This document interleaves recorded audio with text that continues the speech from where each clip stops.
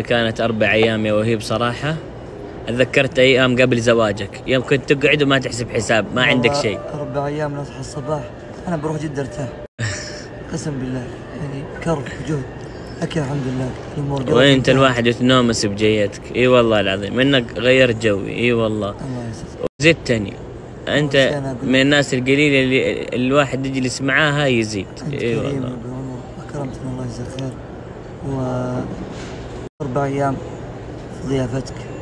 خليتها ندفع ولا ريال بالفندق الله. يهديك لا والله ما هي ما سوينا شيء يا ما راح وهيب أقول لك ابشر بالعوض لكن أقول لك إذا جيت الرياض حتصالح عوض علي عبد الله.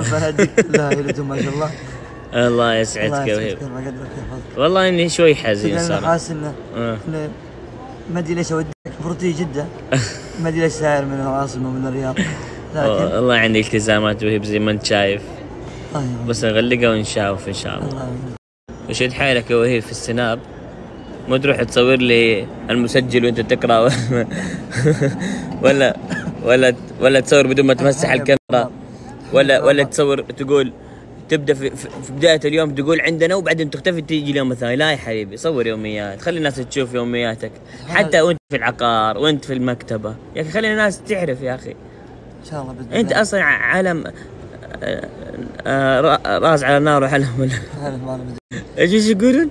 راس على راس البحر- نار. البحر الفترة ذي اللي ماخذها وضعيه في ناس كذا يحسبون ذا صوتي. لا والله صوتك أسوأ من كذا. الله يفتح عليك يا وهيب. تراني أحب قبيلتك. وأحب المنطقة اللي أنت فيها والله إخلاص بإذن الله تزورنا فيها يا ابن عمر نكرمك. ووالدك إنسان كريم وشيخ ما جيت خلاص إلا من الجال للجال. قل ادعوا الله أو ادعوا الرحمن أيما تدعوا فله الأسماء الحسنى ولا تجهر بصلاتك ولا تخافت بها وابتغ بين ذلك سبيلا وقل الحمد لله الذي لم يتخذ ولدا.